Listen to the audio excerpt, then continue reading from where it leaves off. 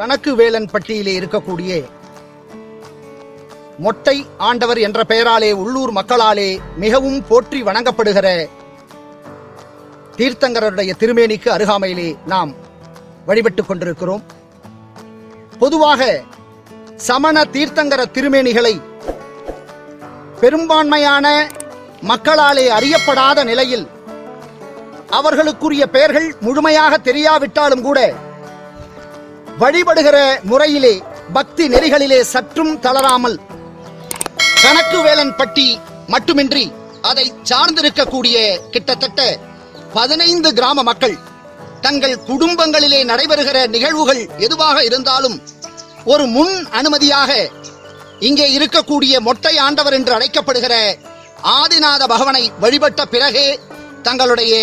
நற்பணிகளை தங்களுடைய குடும்பங்களிலே இன்றைக்கும் தொடர்ச்சியாக நடத்தி கொண்டிருக்கிறார்கள் என்பது ஒரு அற்புதமான செய்தி.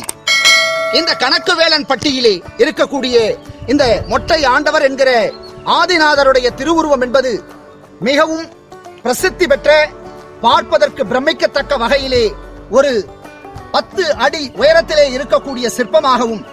அவருக்கு இடதுபுறமாகவும் வலதுபுறமாகவும் அவருடைய மகள்களான பிராமி சுந்தரி இருவரோடும் வீட்டிலிருந்து இங்கே அறம் உரைத்துக் கொண்டிருக்கிற அற்புதத்தை புடைப்பு சிற்பமாக நாம் காண முடியும். இந்த மலைப்பகுதியினுடைய இன்னொரு புறம் இன்னொரு புறத்திலே அங்கே கல் படுக்கைகள் எல்லாம் உருவாக்கப்பட்டு சமண அறவோர்களாக விளங்கிக் கொண்டிருந்த அந்த சமண துறவியர்களும் கூட இந்த பகுதியிலே வாழ்ந்ததற்கான தடயங்களாக கல் படுக்கைகள் மருந்து குழிகள் உள்ளிட்ட சான்றுகள் சமணத்திற்கான தடயங்களாக இந்த கணக்கு வேலன் பட்டியலே இருக்கிறது. கரூர் நகரத்திலிருந்து அரவக்குறிச்சி செல்லுகிற சாலையில்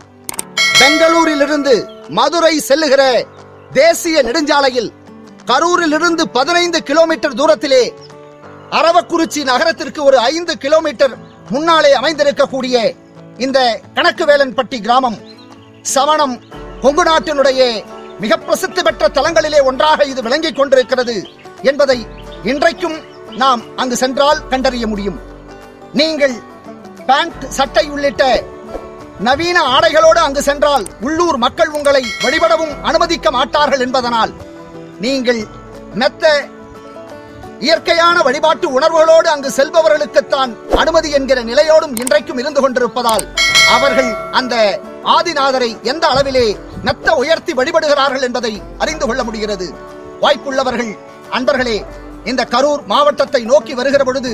அவசியம் இந்த கணக்கு வேலன் பட்டிக்கு வாருங்கள். பிராமியோடும் சுந்தரியோடும் நின்று எடுத்தறிவித்த அந்த ஆதிநாத பகவனை வணங்குவதற்கு வாருங்கள் வாருங்கள் என உங்களை கனிவோடு கரம் கூப்பி அழைக்கின்றோம்.